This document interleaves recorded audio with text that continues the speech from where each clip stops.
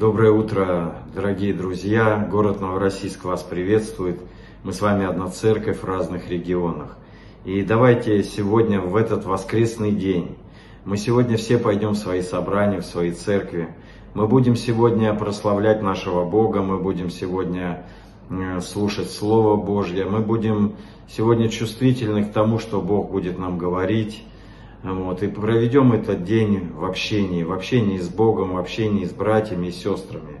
И слово, которое я хочу, чтобы осталось у вас сегодня для назидания, это э, послание к евреям, 13 глава, 1-2 стих.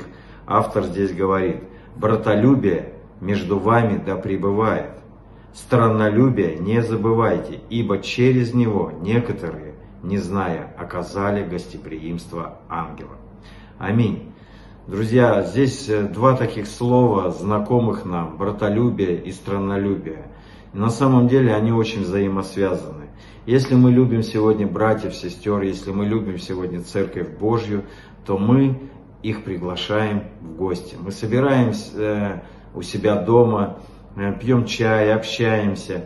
И тем самым мы даже сами, может быть, не понимаем, когда мы приглашаем святых людей к себе в дом, мы оказываем гостеприимство ангелам. И так и есть. И вот знаете, сегодня вот э, лето, оно такое время, когда э, приезжают гости, особенно сюда, к нам на юг, которые, э, которых ты давно не видел, ты так рад, ты готовишься, и ты хочешь э, пригласить их себе в гости, ты приглашаешь их, и, те сам, и тем самым ты как бы э, исполняешь вот это вот повеление, вот эти заповеди, которые здесь нам говорит апостол Павел, то, чтобы мы с вами не забывали страннолюбие.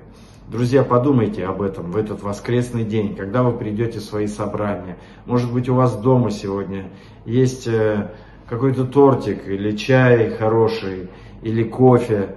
Возьмите и, и посмотрите на какого-то брата, сестру, который, с которым вы давно не общались, но вы Э, уважаете, цените и просто любите этого человека, он же ваш брат или ваша сестра, пригласите его к себе домой, окажите ему гостеприимство, а может быть ангелы к вам придут в гости. Я благословляю вас в этот день, всем хорошего воскресного служения, благословенного времени, и пусть Бог благословит вас братолюбием и страннолюбием. Аминь.